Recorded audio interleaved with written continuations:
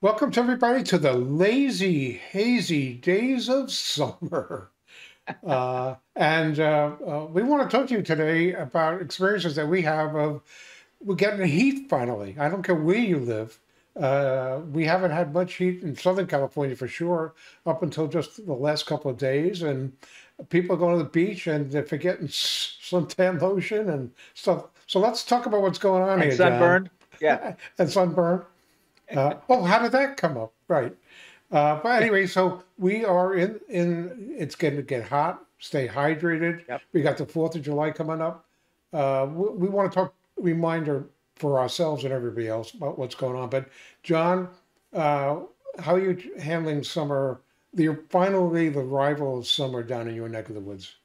You know what's interesting is uh, here in Southern California, gets warm before the first day of summer. Hmm. So the first day of summer is really kind of a non-event. It might be a celestial event, but it doesn't mean much in terms of lifestyle. Uh, but for some reason, the Fourth of July is a big deal. That to yeah. me is the beginning of summer, parades, vacations, things like that. Um, and so I don't know. Summer hasn't really hit until next week, despite the fact that I've been to the beach and got sunburned already. Right. Well, well done.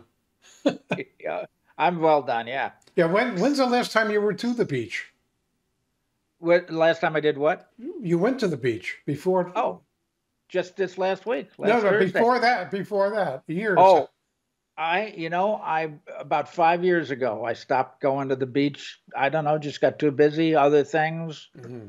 Don't know why. No good reason. Used to be a regular beach goer. Me too. I had a couple little beaches that I would go and sit at and uh, could go in the water, Newport particularly.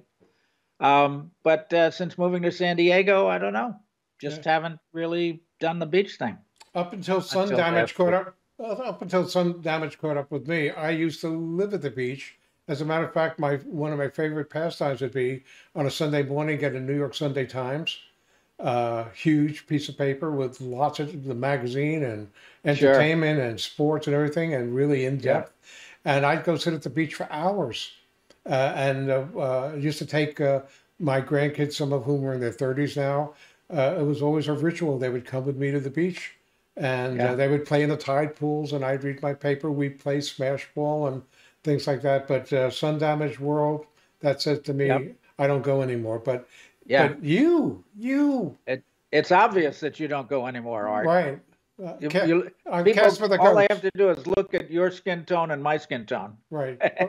they can tell who the, the beachgoer is. I'm Casper the ghost. But in any yeah. event, uh, things to remember though um, uh, that uh, you you you point out uh, correct.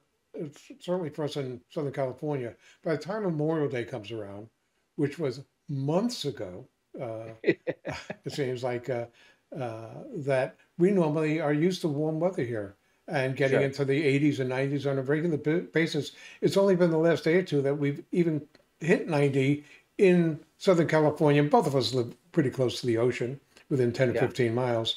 Uh, but maybe Palm Springs has been warmer. But Washington, D.C., just the other day was 100 right. degrees. And the entire North, at some place in Maine, yeah, they had uh, 100 degrees. So, uh, so the important thing is that if if you're going out, uh, particularly for the Fourth of July, or even cooking in the backyard, get to the shade every so often and make sure that you have yeah. plenty of uh, liquid. Uh, and I don't mean alcohol; that's the wrong kind. You should if you want, have plenty of wine, whatever you want, but plenty of water.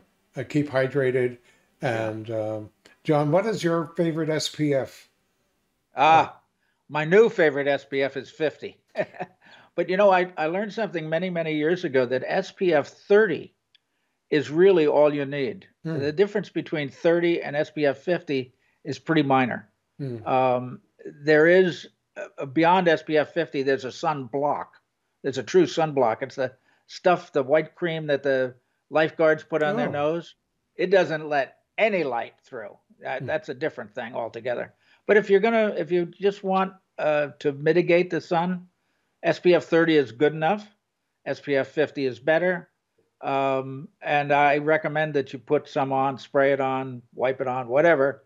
It, it's important, as you know, Art, since you actually uh, had some serious melanoma taken out. Right Um, and I've had a little bit of uh, what do they call it, basal cell carcinoma. Right. Um, so anybody, you know, everybody's different.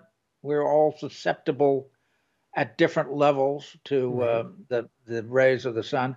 But I think everybody needs to be careful, not only for um, skin cancer, but also for, as you say, hydration, heat uh, yeah. prostration. Yeah, let me also add two cents to the uh, uh, the uh, putting on a sunblock or whatever you put on. You need to actually renew that. If you go out in the sun and you slather it on, you go you go outside or you're perspiring every two or three hours. You need to renew that. Yes.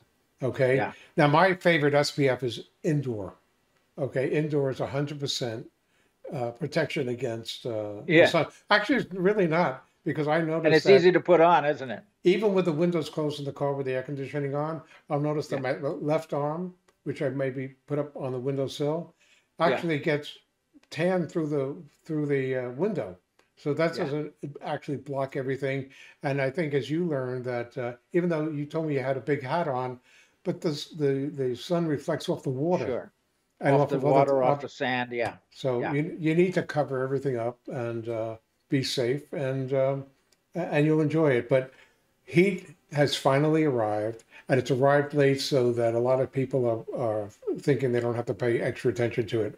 We suggest that probably is a good time for you to rethink it and have a wonderful Fourth of July, which is coming up in a week or so, and. Um, and all the other summer activities and have a great time. For more on Celebrating Act Two, visit our webpage, follow us on Facebook, subscribe to us on YouTube, and tell your friends. Celebrating Act Two is the user manual for the second half of your life.